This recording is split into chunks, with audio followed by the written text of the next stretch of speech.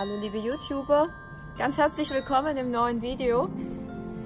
Es weihnachtet und zu unserer schönen Weihnachtsaußendeko, die wir gemacht haben, die wird übrigens total oft fotografiert, haben wir natürlich überlegt, wie lösen wir hier unser Thema, dass hier nicht so viele Personen auf einmal wegen Corona und Abstand in den Laden kommen. Und wir waren also ganz fleißig und haben hier deutliche Markierungen gemacht. Damit unsere lieben Kunden ja genug Platz haben und aber auch wissen, wo sie sich hinstellen sollen, haben wir die Theke kleiner gebaut und haben hier Stellplätze vergeben.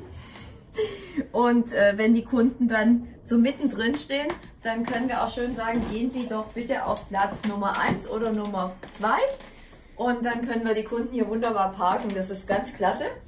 Und dann waren wir noch so fleißig und haben ist auch der Stellplatz Nummer 3 und wir haben stundenlang unseren Kerzenschrank eingeräumt und haben alles ganz toll nach Farben, nach Größen. Ähm, ich will den nicht hochheben, der biegt sich jetzt, der ist also so schwer. Aber wir haben jetzt die, die schönsten Kerzen in allen Farben. Natürlich alles durchgefärbte Kerzen und auch mit diesem Sicherheitsblättchen. Also man kann sich jetzt bei uns austoben und damit die vielen Bestellungen, die wir jetzt auch schon haben, der Stapel, damit die Namen nicht sichtbar sind, habe ich die mal abgedeckt. Ähm, es ist alles super organisiert und wir haben hier total aufgeräumt und richtig durchgeputzt. Also das weihnachtliche Thema kann beginnen. Und heute gibt es auch schon wieder ein schönes weihnachtliches Werkstück. Aber dazu gehen wir mal in Richtung Bindebereich. Unsere Theke haben wir auch umgebaut und wir haben jetzt hier eine schöne kleine Theke. Und wie Floristen so sind, unseren Spritzschutz, den haben wir selbst gebaut, ähm, ist ja klar. Und ich habe diese schönen hohen Gläser, da habe ich schon ein Video gemacht, äh, letzte Weihnachten. Da haben wir diese hohen Gläser dann mit schönen, noch mit schönen Weihnachtskugeln verziert. Und was ganz, ganz toll ist, sind diese Lichterketten, die sind mit einer Schnur, die sind also sehr, sehr natürlich und haben nicht nur diesen Draht. Und in dem Video habe ich auch gezeigt, wie man dieses Batterienkästchen so schön versteckt.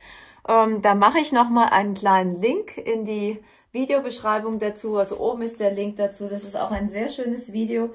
Und man kann dieses Glas natürlich auch ganz toll auf den Boden stellen oder ans Fenster. Und diese schönen Lichterketten, die wurden auch vielfach schon nachgefragt. Auch die versende ich. Ähm, da bin ich ganz gut bestückt, weil die sehr, sehr begehrt waren letztes Jahr. Aber das war nur ein kleiner Ausflug zu der neuen Theke. Und jetzt geht es endlich in den Arbeitsbereich, weil jetzt geht es nämlich los mit dem nächsten Video. Diese Lichterkette, ich zeige es mal kurz für die Kamera mit der Schnur. Ja, so, so sieht die aus. Und die hat ja noch so eine schöne Besonderheit. Die äh, geht nicht nur mit einem An- und Ausschalter an und aus, sondern die hat auch einen Timer. Und wenn man den Schalter dann so mittig macht, das ist die Stellung für den Timer, dann ist diese Lichterkette 6 Stunden an und 18 Stunden aus. Das heißt also, wenn man die auf Timer stellt, dann kann man die immer schön im, im Dämmerlicht, ja, ich sag mal gegen 17 Uhr würde die angehen und gegen 23 Uhr ausgehen.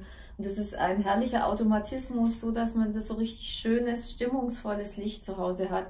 Und diese Lichterketten lassen sich noch für viel mehr verwenden, weil da kommt noch viel in den Videos. Aber ich musste das noch mal kurz gezeigt haben, weil ich äh, totaler Fan von diesen speziellen Lichterketten bin, die auch für mich unheimlich schwierig zu äh, bekommen waren. Ich habe also sehr viel gesucht, habe mir die von weit her schicken lassen, weil ähm, die gab es nicht hier in der Umgebung, auch nicht in Deutschland. Aber es bleibt mein Geheimnis.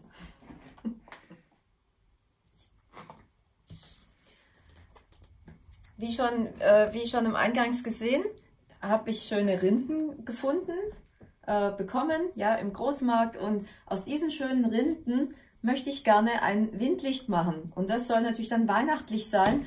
Und ich habe da schon wieder so richtig tolle Ideen. Ähm, hier habe ich ein hübsches Glas, eine schöne Kerze. Also ich habe dann tolle Sachen zusammengesammelt. Und dieses Glas soll dann am Schluss in, diesen, ja, in dieser Umrundung der Strohrömer stehen. Und um eine schöne, feste Basis zu erhalten, gehe ich jetzt erstmal her und klebe die Strohrömer aufeinander. Ja, die haben jeweils eine runde Seite und eine Seite, die so ein bisschen flach ist. Da braucht man also gar nicht so viel Heißkleber. Und geht her, macht Heißkleber drauf, drückt schön fest an. Heißkleber trocknet ja auch ruckzuck. Das geht, das geht echt fix. Und so eine Heißklebepistole bekommst du ja auch, wie ich so oft sage, schon zum sehr fairen Preis bei Floristik24. Und das mit Leimstiften. Das ist eine tolle Geschichte. Man kann natürlich auch drahten, weil manche sagen, Heißkleber ist Plastik. Ja, Heißkleber ist Plastik, aber es geht natürlich viel, viel schneller als Drahten. Ähm, und es ist immer ein bisschen eine Frage der Zeit, ähm, ob man, was man nimmt zum Fixieren. Und Drahten dauert natürlich viel länger. Heißkleber ist auch super auf den Fingern. Und äh, kleiner Ausflug so zu einer anderen Arbeit. Ich habe ja in einem anderen Video den schönen Zapfen-Adventskranz gezeigt. Da haben wir innen drin, um nur so eine Kleinigkeit zu verraten, auch die Strohrömer aufeinander geklebt. Und äh, den haben schon, haben schon viele, haben diese Anleitung gebucht. Die, äh, die ganz ausführliche Anleitung, die anderthalb Stunden geht auf floristik.coachy.net, also meine Plattform, wo ich dieses, diese Schulungsvideos, diese ausführlichen eingestellt habe. Und wir verschicken ihn sogar auch ins Ausland. Ähm, es geht, geht sogar ein Kranz nach Luxemburg, es geht einer nach Frankreich. Also dieser Adventskranz lässt sich auch ganz toll als Geschenk für, für liebe Freunde, Familie, lässt sich auch sehr gut verschicken. Also auch das ist möglich. Oder ähm, du buchst das Schulungsvideo, wie du, wie du ihn selber machst. Aber das ist jetzt so ein kleiner Hinweis. Da stecken natürlich auch Strohrömer drunter. Und die haben wir jetzt schön fest aneinander gemacht. Man sieht also die wackeln nicht mehr. Und damit diese Strohrömer schön verkleidet werden, habe ich Kranzwickelband. Das ist also ein, ein schönes tannengrünes Stoffband. Und dieses Stoffband wickle ich jetzt um diese Strohrömer. Die haben also gerade so die Größe, dass ich die Rolle durchbekomme. Ansonsten, ansonsten wäre das schwierig. So, und dann wickle ich erstmal diese, diese, diese Strohrömer mit dem Kranzwickelband, so dass die eben nicht mehr so gelb sind und nach Stroh aussehen, sondern dass die schön grün sind. Und dann blinzelt auch nicht mehr so dieses Stroh durch.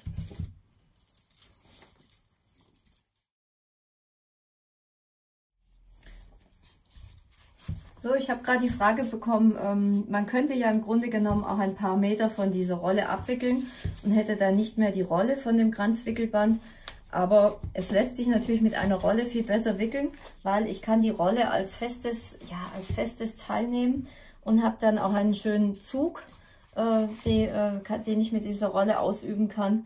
Und deswegen, äh, egal ob wir mit Draht wickeln oder mit jetzt mit diesem Kranzwickelband. Wir wickeln immer am liebsten von der Rolle und ich äh, wickel auch tatsächlich jetzt noch mal ein zweites Mal äh, drüber, damit ich von diesem hellen Stroh nichts durchschimmern sehe. Dann ist es von der Optik her perfekt, weil ich möchte, ich möchte tatsächlich, dass die Basis schön dunkel ist und äh, die Basis ist immer was, was ich gern, ich verstecke immer gern die Technik, die braucht keiner sehen. Und deswegen äh, ist es perfekt, wenn dann, wenn man mit, ja, wenn man quasi mit zwei Umrundungen, wenn man doppelt gewickelt hat. So, dann kann man das ganze Wickelband abschneiden. Und ich würde äh, den, wenn ich es hier so ein bisschen so umdrehe, einmal einknicke. Und äh, hier kann ich auch mit einem Drahtkrampen, kann ich auch mit einem Drahtkrampen dieses Kranzwickelband feststecken. Nicht unten feststecken, weil sonst habe ich den Draht wieder auf dem Tisch. Aber so geht es doch wunderbar. Und jetzt habe ich schon eine ganz tolle Basis. Diese Basis möchte ich aber jetzt gern ähm, mit, mit Moos äh, gestalten. Innen würde ich jetzt kein Moos nehmen, weil dann passt nämlich mein Glas nicht mehr rein. Ja, und ich habe das jetzt genau so gestaltet, dass von der Abmessung her das Glas gut reinpasst.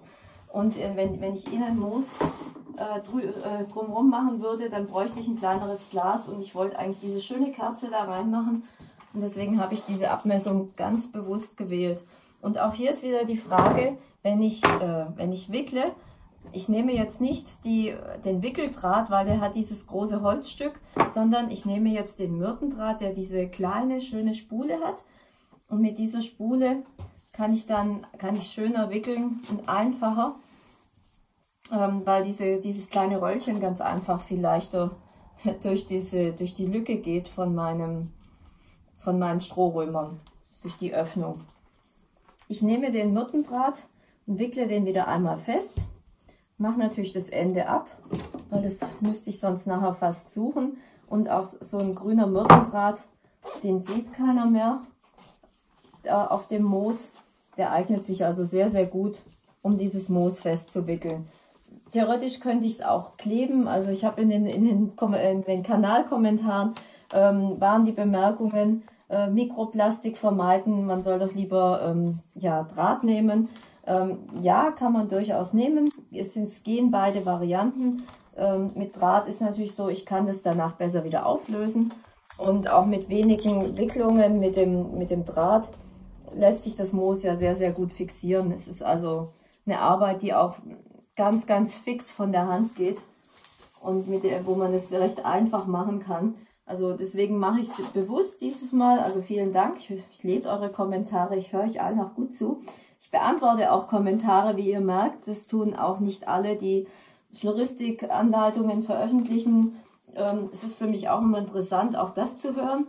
Aber ja, ich bin da sehr interessiert, wie das alles bei euch ankommt und äh, mache mir auch Gedanken über euer Feedback und finde durchaus, ja, man kann das auch natürlich mit Draht wickeln und vermeidet dadurch ja auch ähm, die Verwendung von Plastik. Und ich bin ja auch durchaus ähm, immer auf dem Trip, dass ich Plastik vermeide, dass ich die Plastikeinsätze von den Pflanzen den Gärtnern zurückbringe zum Wiederverwenden. Also ich tue da auch ziemlich viel und äh, versuche, dass, dass wir nicht so viel von diesen Einwegsachen immer wegwerfen und ähm, ja, dass, dass die Sachen, die man dann gut verwenden kann, dass die einfach wieder benutzt werden. Also auch daran arbeite ich permanent. Das tun auch nicht alle. Und ich möchte eigentlich auch nicht so gern, dass meine gelben Säcke permanent überquellen. So, während ich das erzähle, entsteht meine Arbeit zumindest schon. Und ich wickle hier das Moos. Beim Moos wickeln, mal weg vom Thema Plastik, ähm, beim Moos wickeln achte ich darauf, dass oben, dass das Moos schön seitlich ist, weil da möchte ich ja äh, dann meine Rinden, die muss ich allerdings dann doch wieder kleben. Das ist einfacher, weil Drahten ist dann doch ein bisschen schwierig. Aus dem ganz einfachen Grund, ich kann nicht alle Rinden ringsum festhalten und drahten, sondern ähm, ich habe nur zwei Hände und da muss ich doch tatsächlich dann einfach die, die Rinden kleben und äh, dadurch fixieren. Also wir brauchen, so oder so brauchen wir doch Heißkleber. Oder wenn man drahten würde, dann würde man, müsste man diese Rindenstücke immer mit Draht äh, ja, umrunden und man würde den Draht außen sehen. Und ich glaube, meine Kunden würden es nicht so schön finden, wenn, wenn diese Rinde voller Drahtstücke wäre. Und insofern, ja, brauchen wir da wieder Kleber. Also es ist doch eine interessante Diskussion, das Ganze. Ähm, und es lässt sich also nicht überall vermeiden und wir wollen ja auch eine schöne Optik haben. Wenn du deine Arbeiten zu Hause jedes Jahr wieder auftrennen willst und dir das nichts ausmacht, kannst du durchaus auch Draht, drahten. Ähm, und ich kann das ja auch gleich mal zeigen, wie das aussehen würde. Ja, dann hat man auch mal Version A und Version B. Das ist gar kein Problem. Aber da wir es verkaufen, muss es natürlich auch schön sein. Jetzt haben wir unseren, unseren Ganzkörper. Der ist jetzt schön gewickelt. Hier ist überall Moos. Das ist wunderbar. Ähm, dann haben wir natürlich das gleiche Thema wie immer. Wir müssen den Draht, äh, müssen eine Schlaufe machen. Das heißt, ich äh, gehe mit dem Finger in die Schlaufe, gehe wieder dahin zurück, wo ich gerade herkomme und habe mit der anderen Seite das Drahtende und verdrehe das einfach miteinander. So, der Draht ist also fixiert. Und zum Thema Draht fixieren muss ich natürlich auch den Draht an der Rolle von dem Myrtendraht das Drahtende fixieren, weil wenn der einmal aufspringt, dann kann ich den leider überhaupt nicht mehr benutzen. Ein bisschen sauber machen muss ich auch zwischendurch. Und jetzt geht es an die Rindenstücke. Die Rindenstücke, das ist mir jetzt eigentlich zu hoch. Man braucht auch eine schöne Höhe, wie man daran sieht. Die Rindenstücke müssen jetzt nicht alle gleich lang sein. Die hat eigentlich schon ganz schöne Teile. Und damit ich die jetzt in die richtigen Stücke bekomme, steige ich einfach mal kurz drauf. Das vereinfacht die ganze Geschichte. Und ich fange mal an mit den kleineren Stücken. Das finde ich eigentlich ganz hübsch. Und äh, klebe die Rindenstücke mit Heißkleber am Moos fest. So. Da wird, braucht man viel Heißkleber und man muss auch gut festdrücken am Moos. Das muss man sehr gut fixieren, weil ansonsten fallen die Rindenstücke einfach wieder ab von dem Moos. Eine sehr schöne Abwechslung zwischen den Rindenstücken ist es, wenn man Birken, Birkenstämmchen ja, oder schöne kleine Birkenaststücke.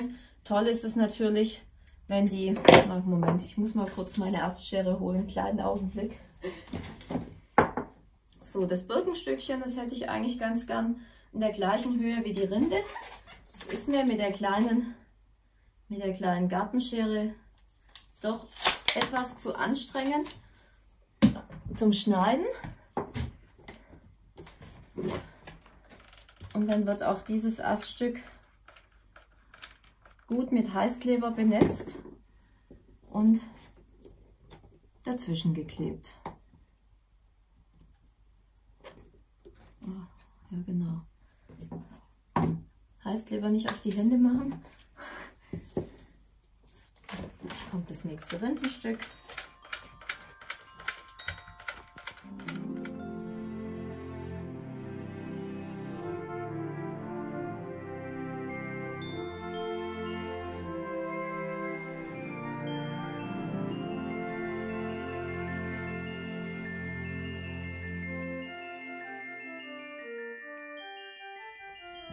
So, die letzte Lücke, die ist relativ breit. Ich habe jetzt also rundum mal schöne, schöne Stücke und ich habe jetzt dann einfach ein breiteres Birkenstück auch mal gesucht, das ich natürlich auch mit meiner Gartenschere wieder überhaupt nicht durchschneiden kann. Kleiner Trick, wenn man alleine ist, man nimmt einfach das Stück, das man schneiden will, zwischen die Knie und knack, knackig ist sie, ja. So, man nimmt das Stück, das man schneiden will, zwischen die Knie und schon geht es dann natürlich, dass man halten und schneiden kann. Und ich suche mir immer die schönere Seite aus. Die ist eigentlich schön hell. Und dann soll natürlich die schönste Seite der Birke nach außen sein. Diese, diese Rindenstücke haben alle so eine kleine, ja vom Baumstamm so eine kleine Neigung. Und das ist auch gut so, weil die sollen ja rundum immer schön an meinen Kranz passen. Ich habe bei einem Rindenstück sogar, weil das schöner ist, die Innenseite, die am Baumstamm ist, benutzt, weil es einfach schöner war als die Außenseite. Ich habe hier auf einer, an einem anderen Stück habe ich ein, ein Stück Birkenrinde genommen. Ja, also ich habe auch wirklich verschiedene Rinden genommen und verschiedene Stücke. Die müssen gar nicht alle ganz gleich aussehen, ähm, dass dieser Kranz also interessant ist und lebendig. Und man kann den ruhig jeden Tag ein Stückchen drehen und hat dann einfach eine andere Außenansicht. Das finde ich, ähm, find ich wunderbar. So, meine Rindenkiste hat ausgedient und jetzt geht es an die Deko. Das heißt, die Kiste kommt jetzt mal weg. Ich habe natürlich schöne weihnachtliche Dekoration vorbereitet. Damit ich hier, damit ich hier gut arbeiten kann, muss ich trotzdem erstmal ganz schnell meinen Tisch sauber machen und dann geht es weiter stelle jetzt mal zur Probe mein Glas rein. Das passt jetzt also wunderbar rein. Das wackelt auch nicht mehr. Das ist jetzt perfekt ausgemessen. Und eine schöne Deko. Als, äh, als, als Deko brauche ich jetzt ein bisschen ja, Rinde, äh, Gestrüpp, Natur. Und ich habe hier getrocknete Birke. Die lege ich einfach rein.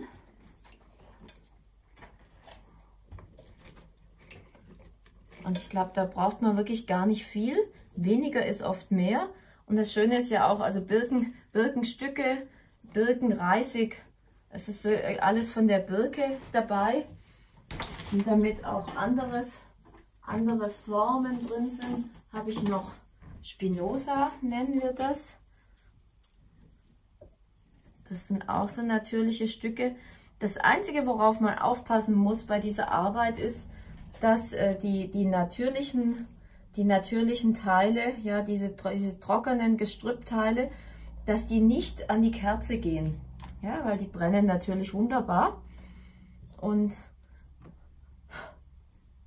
wenn ich jetzt die Kerze hier brennen lasse und hier ähm, so ein Stückchen guckt hier rein, das darf natürlich nicht sein. Dann wollen wir das Ganze natürlich weihnachtlich machen. Das heißt, ich lege, ich lege Kugeln, ich lege Kugeln äh, rein. Ich lege die zum Teil auch unter die Zweige. Vielleicht auch zwei Kugeln ganz nah beieinander. Was ich sehr, sehr schön finde zu diesen Naturtönen sind Orangenscheiben. Die stelle ich rein. Braucht man eigentlich gar nicht festkleben, weil die so schön, so schön halten. Ich wollte mal probieren, wie es aussieht mit Nüsschen und Zapfen. Und damit es ein bisschen Abwechslung ist, wollte ich auch mal ein paar kleinere Kugeln mit einfügen. Aber was mir, was mir unglaublich gut gefällt und was hier eine ganz tolle Farbe reinbringt, das sind tatsächlich die Orangenscheiben. Die finde ich sehr, sehr schön. Und sowohl ähm, zwischen den Rindenstücken und dem Mooskranz als auch innen, so dass man von, von jeder Ansicht, wenn man den, diesen Kranz sieht, dass man also diese Orangenstücke auch sehen kann. Und wir haben so schön die Birke geschnitten und haben hier so ganz tolle Rückschnittstücke und auch die lege ich rein. Und dann habe ich immer so eine schöne Schnittstelle und da, da mache ich dann mit einem Tupser Heißkleber Sternchen fest. Ja, das gefällt mir sehr gut mit diesen Birkenstücken, die man noch verwenden kann. Und ich hatte noch über Kokossterne nachgedacht, aber ich finde eigentlich, der Kranz braucht gar keine Kokossterne mehr. Es ist, er ist so schön gefüllt und so natürlich, dass wir eigentlich, dass ich, hm, bin so ein bisschen, vielleicht noch ein kleines Sternchen mal auf so einem seitlichen Ast aber ich würde ihn mit Deko nicht mehr überladen. Ja, es ist, es ist genug Deko drauf.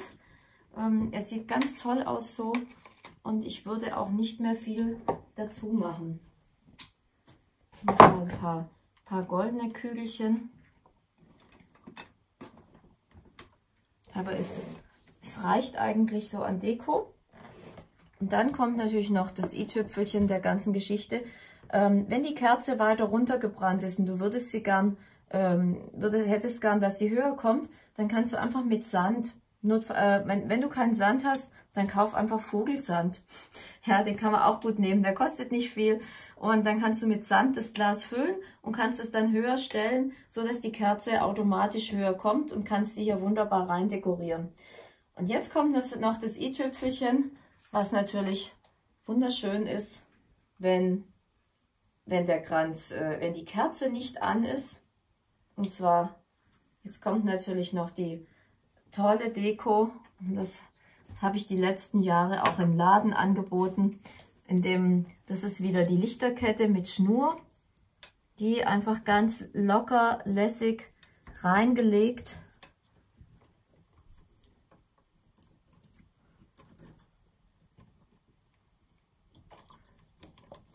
Und egal, ob die Kerze brennt oder nicht brennt, es ist, es ist ein Hingucker mit der Lichterkette.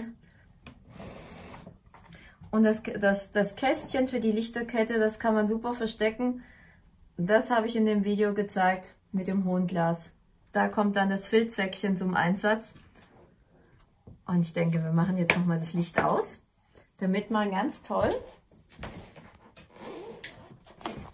damit man so richtig schön diese, diese tolle weihnachtliche Arbeit sehen kann.